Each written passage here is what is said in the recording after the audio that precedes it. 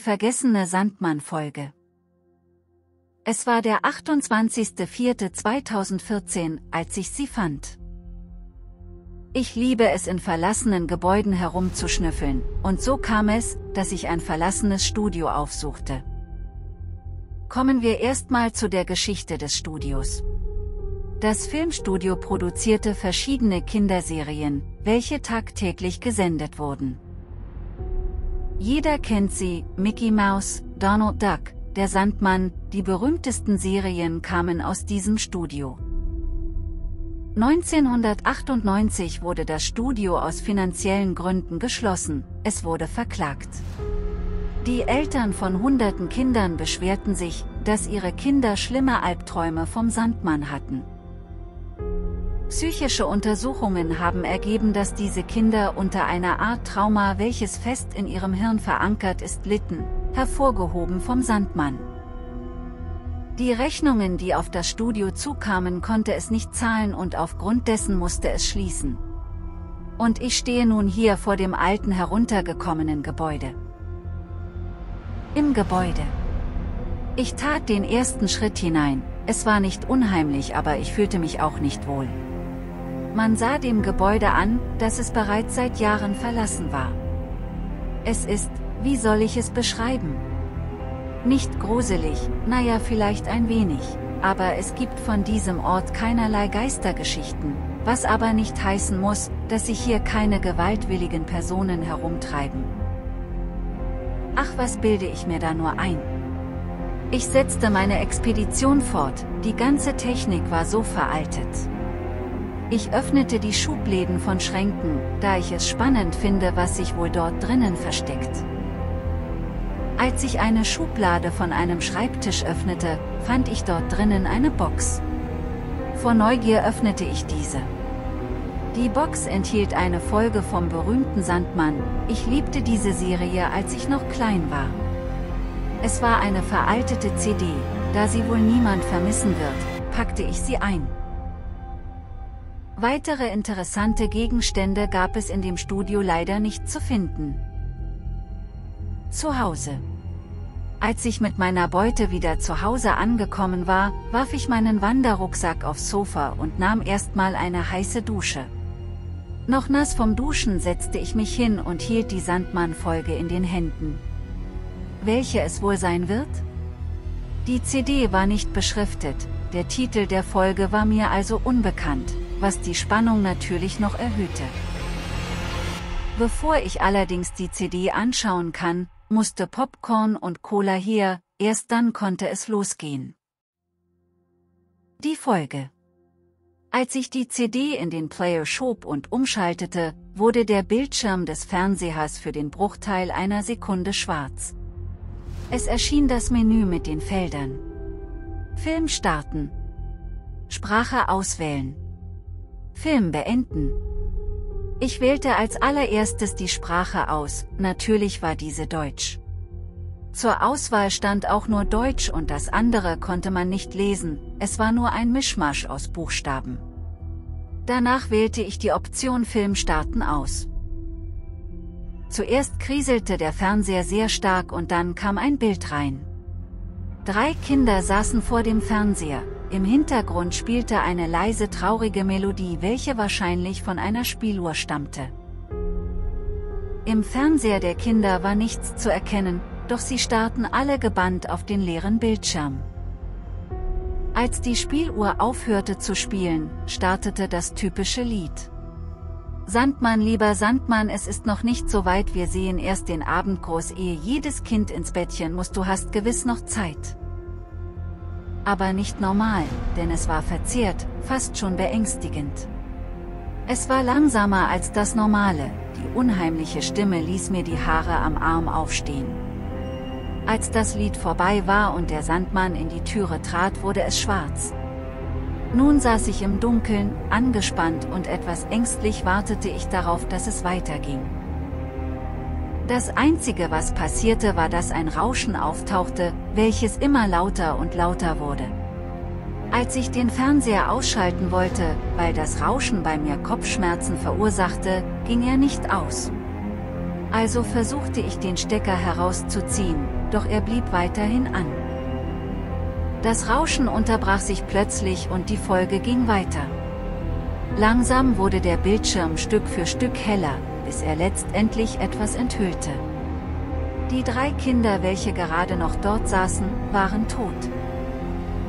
Sie lagen alle aufeinander, sie bluteten aus so ziemlich jeder Körperöffnung, dann kam der Sandmann herein und überschüttete sie mit schwarzen Sand. Er drehte sich um und es sah so aus, als würde er mich direkt anschauen, er kam näher bis sein Gesicht im ganzen Bild zu sehen war. Er starrte mich nur an, mein Kopf brummte so fürchterlich.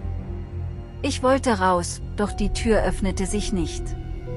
Lass mich in Ruhe, schrie ich.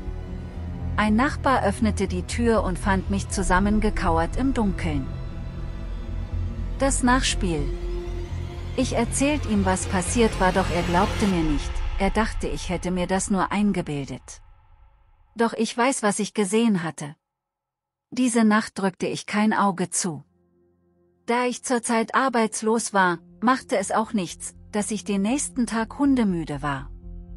Außer dass mir dieses Erlebnis nicht aus dem Schädel ging, verlief mein Tag ganz normal. Am Abend, als ich mich schlafen legte und die Augen schloss, sah ich sein Gesicht. Er starrte mich an. Ich versuchte ihn aus meinen Gedanken zu vertreiben, doch es gelang mir nicht.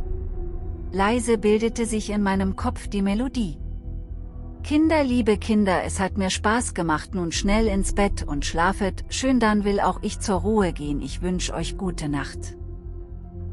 Ich schreckte auf und schrie wie am Spieß, mit so einer Lautstärke, dass der Nachbar hineinstürmte.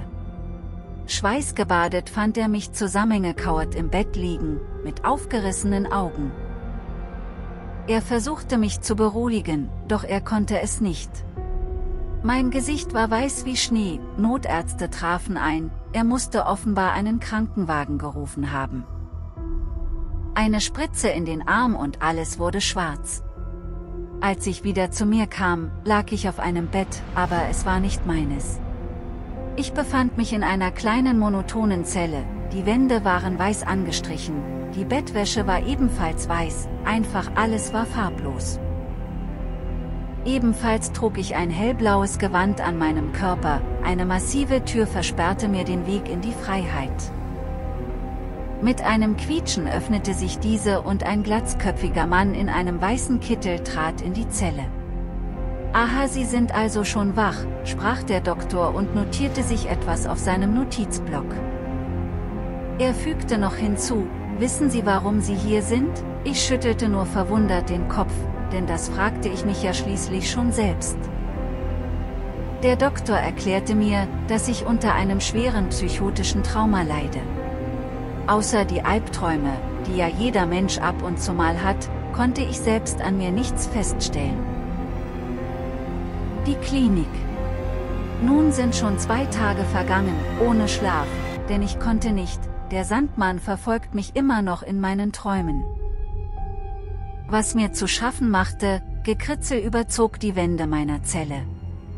Sandmänner, Sandmänner, Sandmänner, egal wohin man sah, Sandmänner. Ich konnte nicht aufhören, betete zu Gott, dass er mir helfe, doch es geschah nicht.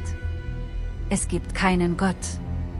Er hilft mir nicht, es hieß, dass Gott den Menschen hilft, doch was macht er?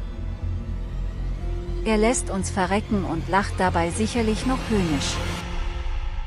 Da ich in Gott keine Hoffnung mehr sah, wendete ich mich an Satan.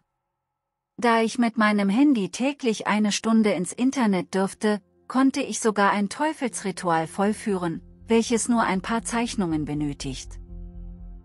Das Ritual. Diese Nacht war der Augenblick der Wahrheit, alle magischen Symbole waren bereits auf A4-Blätter aufgezeichnet. Als die Dunkelheit hereinbrach begann ich mit dem Ritual. Ich murmelte. Akosov Mamementus Akolsopherismus Befuhigia, Satan und stach mich mit meinem Bleistift mit voller Wucht in den Arm, denn dieses Ritual brauchte ein Blutzopfer. Das rote noch warme Blut ließ sich von meinem Arm auf die Blätter tropfen. Danach legte ich mich zufrieden schlafen. Am nächsten Morgen entdeckte eine blondhaarige Krankenschwester das Blutbad. Sofort wurde ich in eine Abteilung versetzt, in der ich nichts mehr besitzen dürfte, damit ich mich selbst nicht noch einmal verletze. Doch nun da ich die Bilder aus meinem Kopf nicht mehr aufzeichnen konnte, blieben sie dort. Ich spürte, wie der Wahnsinn in mir hochkroch, er übernahm meinen Verstand. Meine Zuckungen nahmen Tag für Tag zu.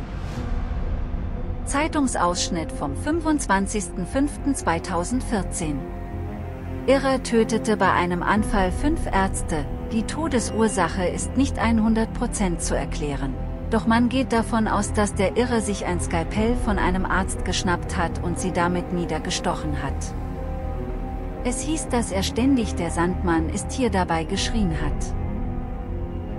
Schlussendlich zündete er sich selbst mit einem Feuerzeug und dem Alkohol, welchen die Ärzte in ihren Privatzimmern aufbewahrten an. Dabei geriet die Anstalt in Flammen und 1500 der 2000 Insassen und Ärzte starben dabei.